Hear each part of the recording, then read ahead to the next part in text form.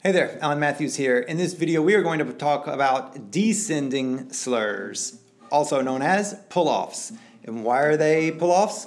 Well, quick definition of a slur.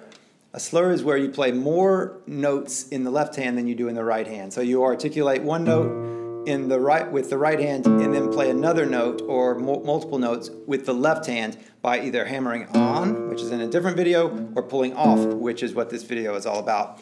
Not only are these a musical device, and you'll see them in, in music all over the place, then you'll also find that they are one of the best exercises, especially these, the pull-offs, are one of the best exercises for your hands to build control and strength and dexterity, stretch, flexibility. They are if, if I only had one uh, exercise to do, this would be it. To start off with, this is how to do them, and then we'll talk about how to use them as an exercise.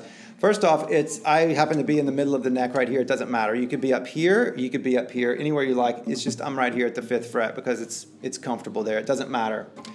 So you start off with two fingers on, and this is the important part. Put both fingers on. They're on the same string, and then pull down and in to the next string.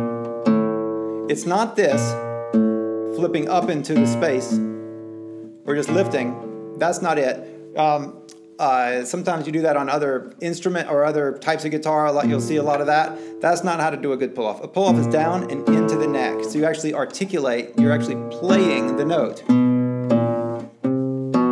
And so then that is a full pull-off.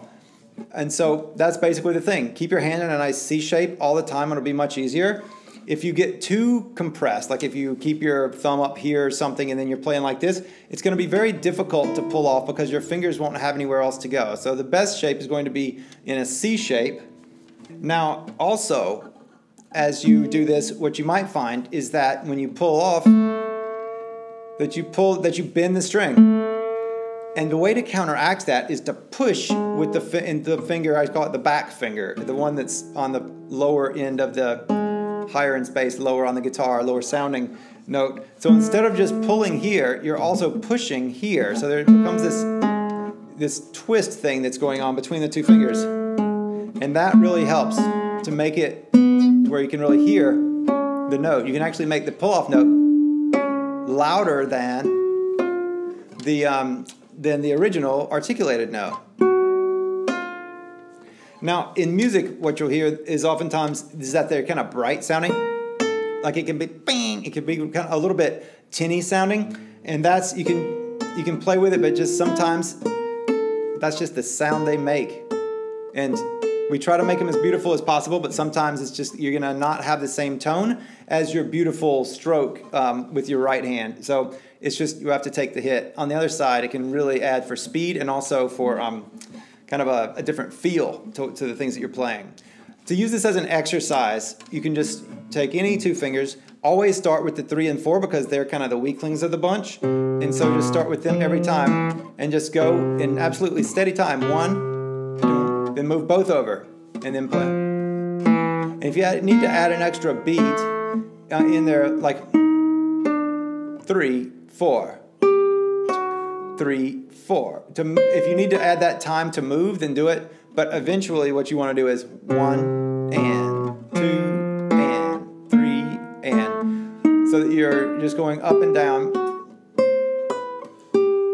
through both directions through the frets. And then you can either move up a fret or you can go to a different pair of fingers. Of course, the different pairs of fingers are one and two, two and three, three and four, three and one, two and four, and four and one.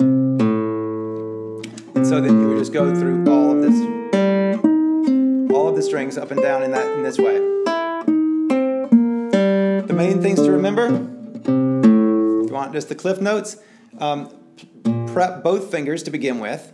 So prep two fingers to begin with, and then down and in is the way to do the pull-offs. In actual pieces, you may it may be more of kind of a, a, a, scoop up thing, but as far as practicing them, practice them with the integrity and, the, and just the principle down and in, down and in. So these are descending slurs, also known as pull-offs. Hope that helps. Have fun.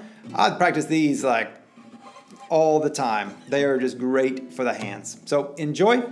I'll talk to you soon. Bye bye.